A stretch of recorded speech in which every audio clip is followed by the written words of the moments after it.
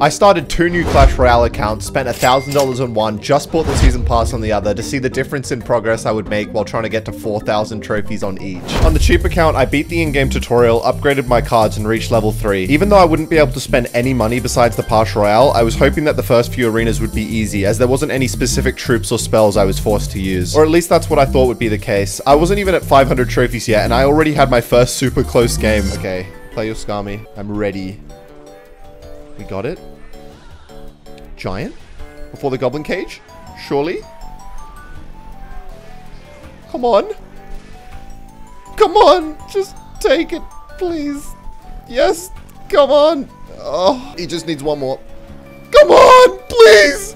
What is that, dude? As if I lose like that. And the very next game, I forgot about the new balance changes that were added to the game, so I was very surprised when this happened.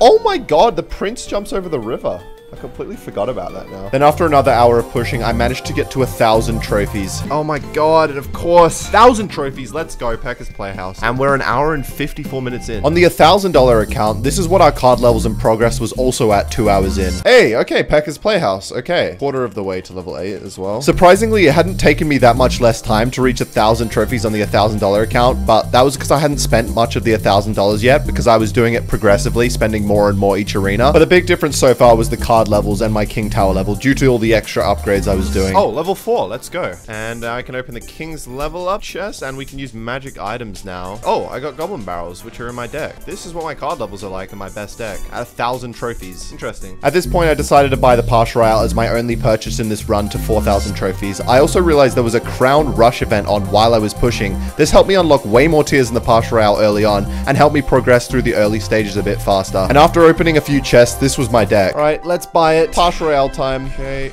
there we go. We got Musketeers in the chest. Level 8 Musketeer. Okay, so now this is the deck after half of the Pass Royale. Cool. On my cheap account, the next milestone I reached was Spell Valley. Nothing much happened here, apart from the ability to unlock a few new cards. Oh, Spell Valley. Let's go. Already. Okay. 2 hours and 36 minutes in Spell Valley. Cool. However, reaching Spell Valley on the $1,000 account was very exciting because it meant another $50 was going into the account, and the account was slowly getting more and more dominant. Oh, we just reached Spell Valley. Okay, that means another 50 purchase was successful. There we go. Another 4,800 gems. All right, let's, you know what? It's worth to start with Goblin Barrel. Uh, Oh my god, the wizard has to two-shot the goblins. On the cheap account, I had so many tiers in the Pass Royale that I was able to open because of the Crown Rush event that was going on in-game. But I was holding off opening the Crown chest and claiming the wild cards because I was thinking that if I unlock a good card later on, I want it to be a high level. So then I'll open my Pass Royale chest for it. But I realized that if I have a solid deck right now, I may as well try and upgrade as much as possible because higher card levels will make trophy pushing so much easier. All right, so far we've unlocked 11 Pass Royale tiers. This is what my deck looks like, the card levels. Now let's open all of them till 21 and see what that looks like. I managed to upgrade Minions, Zap, Musketeer, and Goblin Barrel, and the level 9 Goblin Barrel upgrade was going to be so important for me to make progress, especially because it was the last upgrade for level 6. Level 9 Goblin Barrel, oh my god, yes! And level 6, now we get the King's level up chest, who would have thought? And I got 5 Skarmies, that's actually in my deck. So 3 hours into the $1,000 account, I was 600 trophies ahead of the cheaper account already, and I was also using Goblin Barrel. Now, level 9 Goblin Barrel on the cheap account is actually really solid, but I was putting everything I had into it, and getting really lucky with getting them out of chests. Meanwhile, on the $1,000 account, my Goblin Barrel was already level 11 and I was two levels higher at level 8. Ooh, we just got Balloon and unlocked level 8. Okay, that's kind of cracked as well. Level 11 Goblin Barrel. There it is. Oh my god. At this moment on the cheap account, it felt like my card levels were actually good in comparison to the players I was up against. This was because of the Crown Rush event though, because it meant I was unlocking the Pass Royale tiers much faster. So literally 15 minutes later, I managed to reach Builder's Workshop. Oh, is that Builder's Workshop? I queue so fast, I just miss it. Now, you can tell the IQ of my opponents really went up a notch in Builder's Workshop because I misclicked a Goblin Barrel, and look what my opponent does here. Look at this Pro Barrel.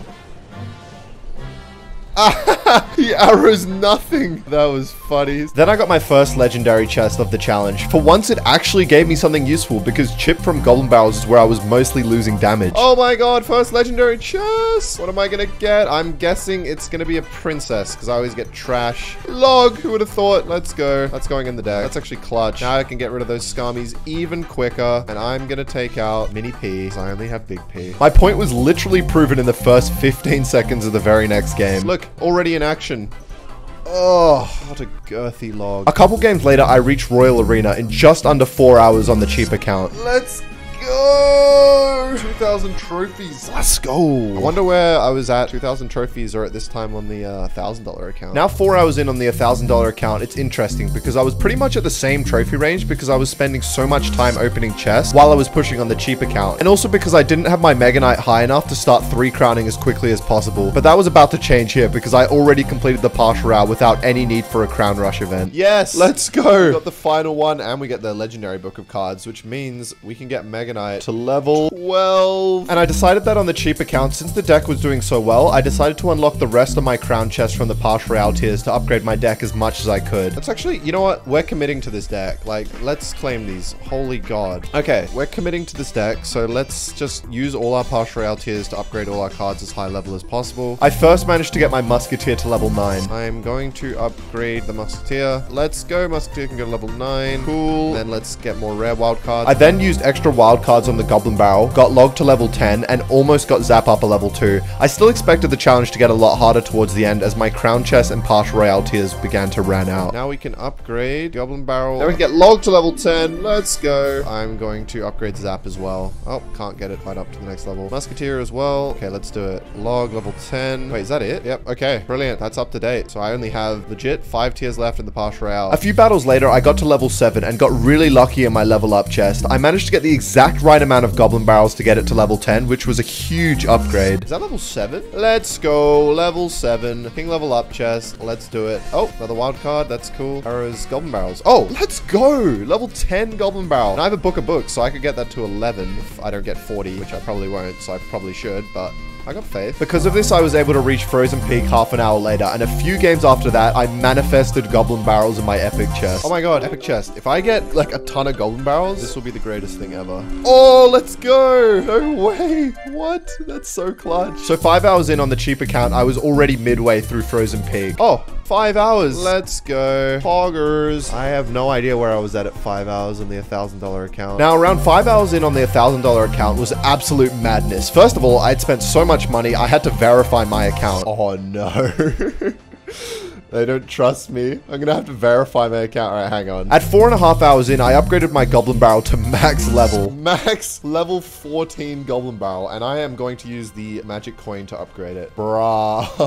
Already a max Goblin Barrel. Then by five hours, I'd spent another few hundred dollars, reached 3,000 trophies already, and was able to upgrade my Mega Knight to max level. Hog Mountain. 120. Okay. There we go. Purchase successful. So we get 10 legendaries, 200 epic Another chest, which is not too cracked. Half a million gold and 14,000 gems. Okay, let's start out by getting Mega Knight to level 12. I mean, to level 13. And then let's use the Book of Cards to get it to level 14. Actually, let me use the magic coin. 100,000 gold saved. Level 14 Mega Knight. Level 10, let's go. Oh, that means we get to open another chest. Imagine it's a Mega Knight. Okay. So while I was easily three crowning on my $1,000 account, I finally grinded my way to Jungle Arena on the cheap account and finished the Pass Royale. All right, I gotta use it. Gotta get my log another level. Oh, Jungle Arena. Let's go. Jungle Arena achieved. All right. Shortly after on the cheap account, I had a game in Jungle Arena where my opponent would keep playing cards at unfortunate timing over and over again. This was actually so funny. It's not looking too hot for him. Oh, that is unfortunate, my friend. Oh, that is very unfortunate for you, Hermandra. Oh, oh my, that has got to hurt in the morning. Every single card he played, I just played the counted card. However, on the cheap account, Jungle Arena was already proving to be difficult. There were a bunch of really close games, and I barely managed to come back in this one. Split lane. No one saw it coming. At Least of all me. Surely we outcycle him here.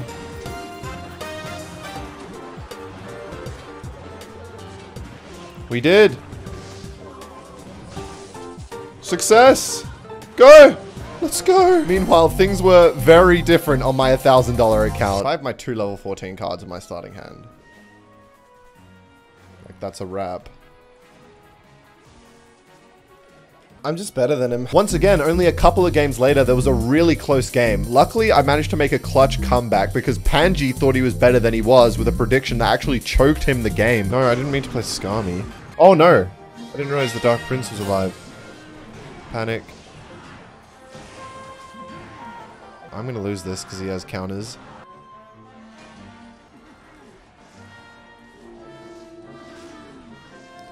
Okay, that's it. We need something magical to happen here. Oh, he tried to predict it.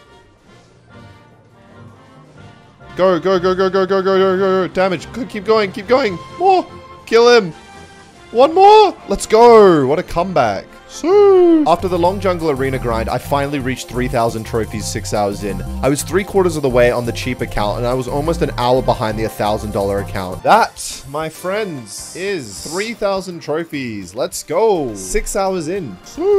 So by six hours in on the $1,000 account, I'd spent hundreds and hundreds of dollars, reached 4,000 trophies so quickly that I decided to go for 5,000 trophies, and was three crowning so fast that I was two hours ahead of the current world record. Let's go. I just got 4,000 trophies. I didn't even realize. On the cheap account, I hadn't upgraded any of my cards in ages, and I realized that I wasn't going to be able to upgrade my Goblin Barrel again before I reached 4,000 trophies, so I decided to use my Book of Books that I got from the last tier in the Pass Royale on Goblin Barrel to make it even more over leveled. Alright, I'm using my Book of Books to get Goblin Barrel to level 11. Screw it. Goblin Barrel, level 11. Let's go, baby. And four epics. I guess we'll put him into P.E.K.K.A. Legendary. May as well put into Log. Book of Res. Musketeers going up another level. Cool. Let's upgrade that. Nice. Lovely. That is all my wild cards used. And then out of nowhere, I got a magical chest from my chest cycle and somehow actually got something good from it.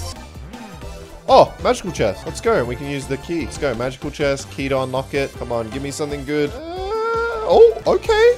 What's this? Uh, that could work. It's level 9, so I don't know. Instead of minions? May as well. Okay. So I put Inferno Dragon in the deck, and literally the very first game, I called out why it was good, and then it happened. Go... Sometimes the Eye Drag can just lock on and snatch towers. Exhibit A. Nice. First game with Eye Drag. 10 minutes later, I upgraded some cards on my cheap account and finally reached level 8. That's it, right? Let's go. Level 8. Nice. Now I can open the King's level up chest. Come on, give me something good here. Oh, what? Okay, I mean, it's probably guaranteed in the chest, to be fair, but... Ooh, probably not gonna use that though. So six and a half hours in, I was already level 8 on my cheap account, and on my $1,000 account, I was already level 10. And it wasn't until another hour of progress on my $1,000 account, at seven and a half hours in, where I was getting close to 5,000 trophies, where I finally strained to upgrade all the cards I could to get to level 11. 300 gold. What can we upgrade? Please, something. Okay, we can upgrade this. Let's go! Level 11! Yes! Holy, I forgot how OP these chests are. And a final legendary. Surely something good. Okay, doesn't matter. I kept pushing on my cheap account, and my last game before Electro Valley was one of the closest games of the whole stream. Oh, he's gonna lightning. Oh no. Okay, I need to somehow win here. he used his log. Go. Let's go! Oh my god, that was scary. I'm telling you, Electro Valley players are on another level. Just look at this first player I saw after getting there. Cool. We're in Electro Valley. What? What? I don't know what to say. That was strange. I then continued for another hour and quickly pushed through Spooky Town and finally reached 4,000 trophies on my cheap account in just under 8 hours. GG, 3 corn achieved, and we got it! 4,000 trophies, let's go baby. And on my $1,000 account, I reached 5,000 trophies in 7.5 hours, so it actually took 30 minutes less, and I had 1,000 trophies more. That shows the power of the strongest card in the game, the credit card. Let's go! We did it! leagues. Only took a thousand dollars. Yes, I'm so happy as well because KFC Got No Home made it using code KFC, of course.